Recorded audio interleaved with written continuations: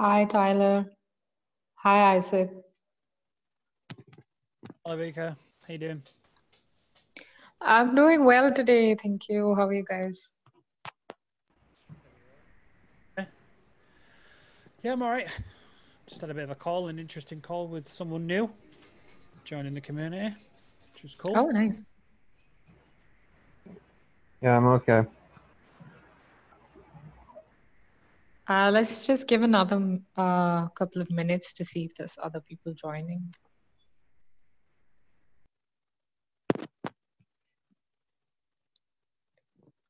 Uh, Or Tyler, you you're on mute, I think. I'm saying, is that the real Arta or is that just your account?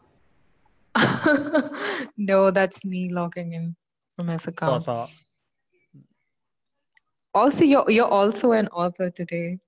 Yeah, I was just on a call to record it, so and I just not switched. it. Ah, I've just okay. not switched log on, but it makes no difference, so it's fine. Yeah.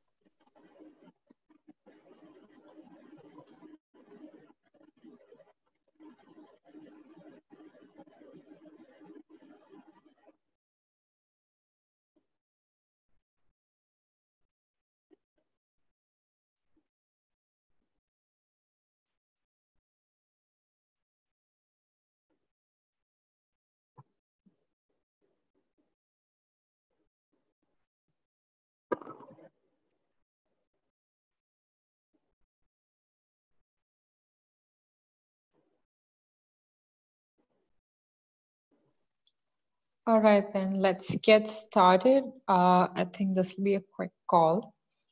Uh, Tyler, do we have any organizational updates that you're aware of? Um, nothing specific. We've been we're still working through the CRM system. We're going to look at um, bringing like live data into it now, but beyond that, I don't know of anything.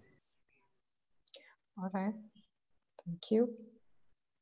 Um, I see there's been some updates with uh, the engagement community channel. Is there anything new to add over here? But this, I mean, I can quickly show you what I've been working on. Uh, yeah, I can quickly show. Sure, I've stopped sharing. You should also be able to share now, I think. Yeah. You're on mute again, I think, Tyler. I'm not. I'm just mumbling. I'm just mumbling, so I'm Ah, not breaking okay. my mic filter. So yeah, I've been. We're building like a, a, a new member user user map, which we're starting to work through, and um, we're starting to look at um, empathy mapping for the community. And I've started to build like a like the why people join for the volunteering. So that's something we're working on. Like we're interested in seeing if anybody anybody else is interested more in um, the UX and the experience of the community. So if we're going to be reaching out to more of them kind of people to see if they want to help I love it. process. The why. This we- looks amazing.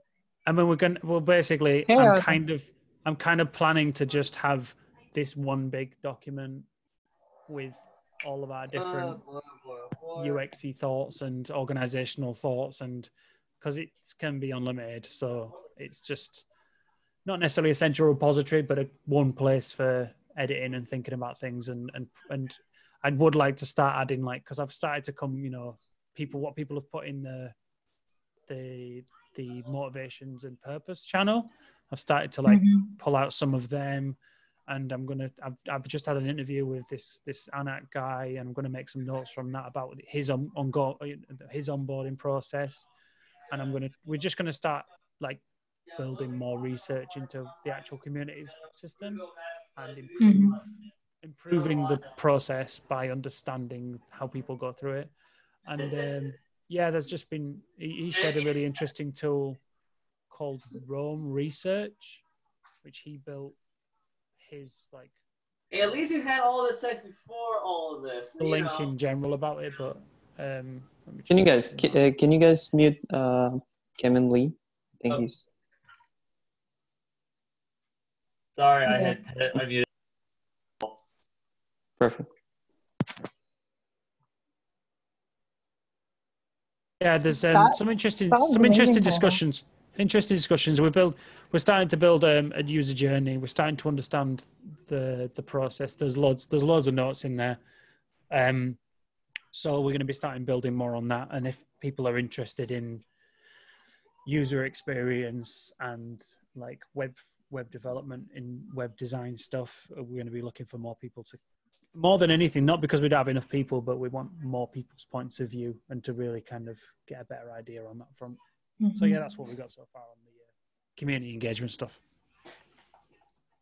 That sounds great, actually. Pretty cool stuff. Thanks, Tyler. Uh, now that we have Arthur on the call, um, is there any organizational update uh, that you wanted to share, Arthur? I did check with Tyler, uh, but anything else that you may want to add? Yeah, primarily I, I- I'm just trying to piece all the pieces together, and we're working on primarily infrastructure things to um, speed up all of these amazing things that we've discussed with uh, a group of Rockefeller researchers, and then Keithy formulated it. And I think our goal this week is to formalize that document.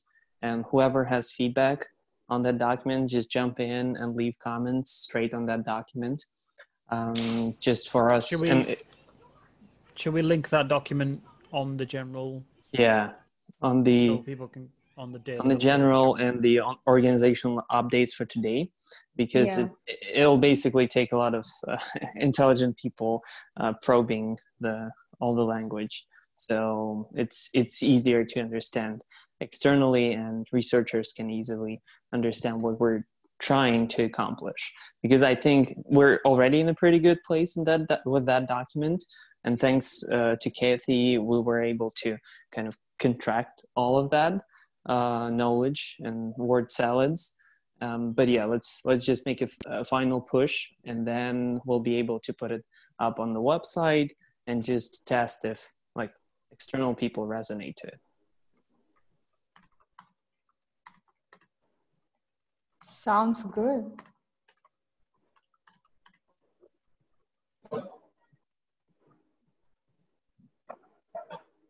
Thanks, Arthur. Uh, later on, maybe if you can just add the link to the document here and on the general channel, or just ping it to me, I can do them. Yeah, yeah, I'll I'll add it real quick.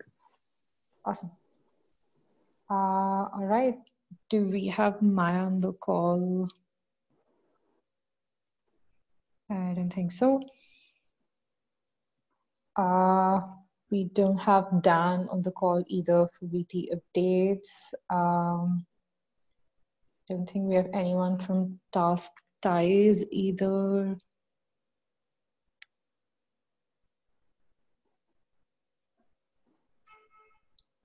All right. Um, Arthur, are there any updates around the uh, discovery uh, and search engine side of things? Any of these four, really? Yeah, so Discovery Engine is kind of the the same uh, thing was the document because basically Oh, okay. AI powered literature review. So it's the same milestone for that. And in terms of we're we're still working on figuring out that uh, you know that wave to replace Kaggle contributions page with our Corona Mad uh, tables. There's still a couple of things that um, are missing uh, Dan Sosa connected with Paul Mooney from Kaggle and helped us clarify what's missing.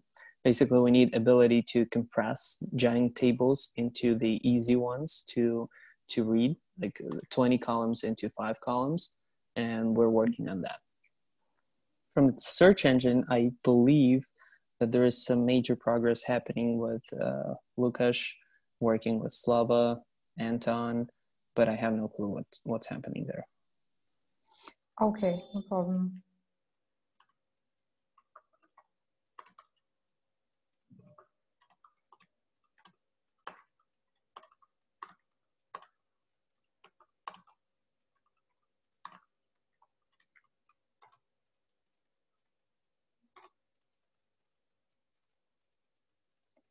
Um, all right. Um, I don't think we have Slava or Anton either for the infrastructure dataset updates.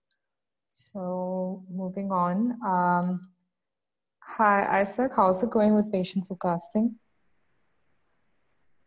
Um, yeah, it's going good. So, uh, yeah, we've, uh, I posted the plan to our channel for our next couple months and people seem to like it. So I guess we're to try to follow that. Um, we did get some basic confidence intervals integrated into our model, which Is there a link to that document? um yeah in our in our Slack channel there is. Um, I Uh, can w- w- I can DM it to you though too if you want. uh, maybe add it to the the daily progress sheet. okay. sh- Um, is your Slack channel team patient forecasting itself? And if it is, Yeah.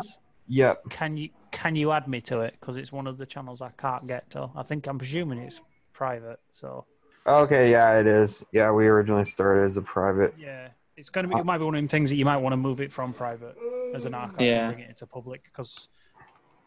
If, if people can't find it and they have to be added to it, it was fine at the beginning, but usually it gets clunky after it. And also because the longer it's private, the longer that information stays locked away and no one can get into it. So just so you know. Okay, so yeah, we finished. So we got that going. Um, and yeah, and yeah, we we're working on our data infrastructure. Uh, also, I published a blog post on Medium in Towards Data Science, detailing our teams, kind of what we're doing and our goals. So if someone could, so if people could help share that, and uh, know, Yay! Uh, that- where's that article?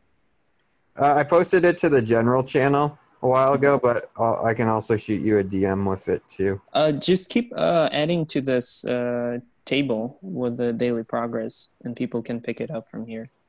Okay, sure. Yeah, I'll, I'll do that then. Um, so so um, yeah, those are the major things from us. Um, and yeah, I'll I'll add those links in a second.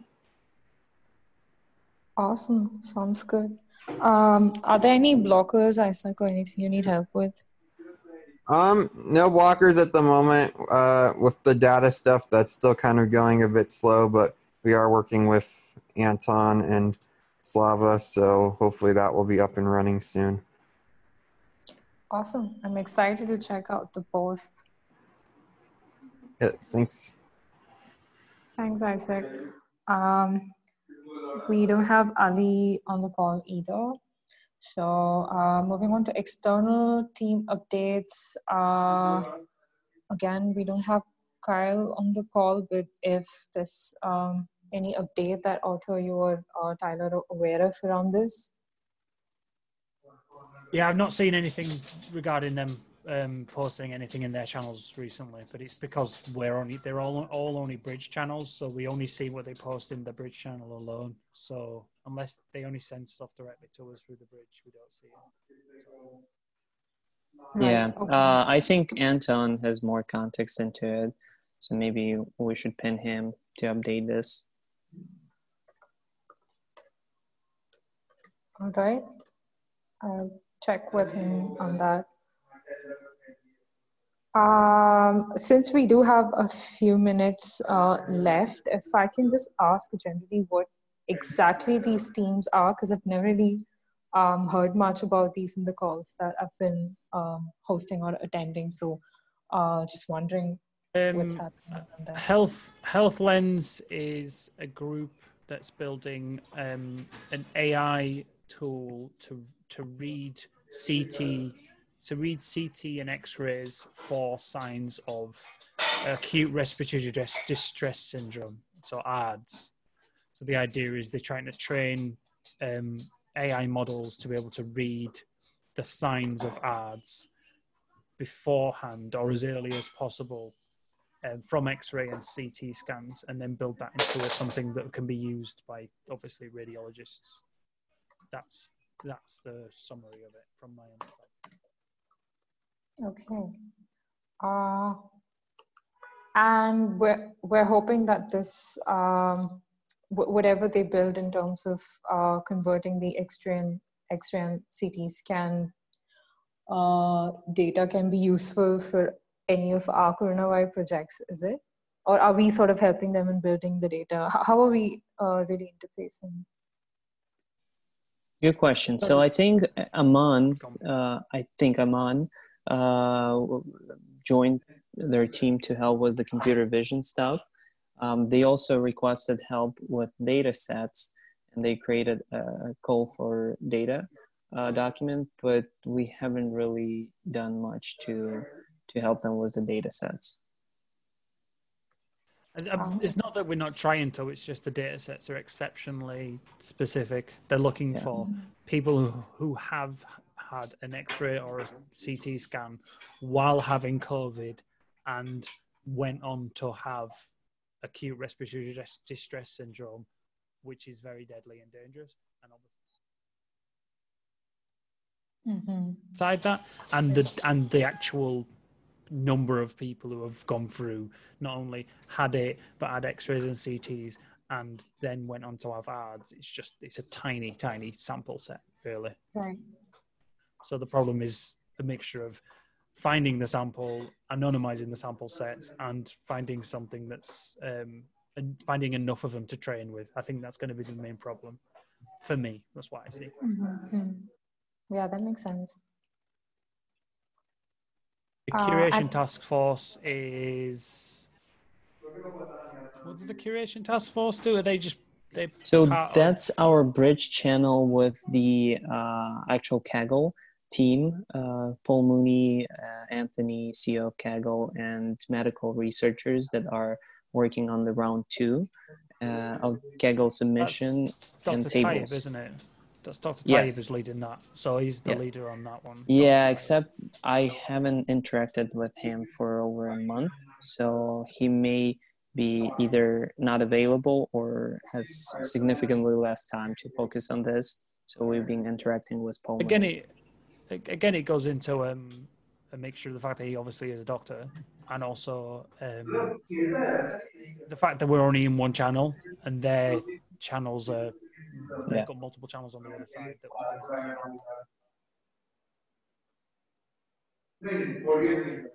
Okay. All right. It um, should be on um, there, but I've not seen anything from them recently either. That's mm-hmm. Matrix, CoView, Task Force, but again, these are just like quiet parts. Mm-hmm. Okay. All right. Uh, thank you both for uh, enlightening me around those two uh, teams. Does anyone have any general points for discussion, thoughts, suggestions?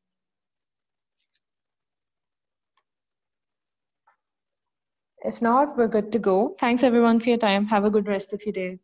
Bye bye. All right. Thank you. Thank you bye bye. Cheers. Bye.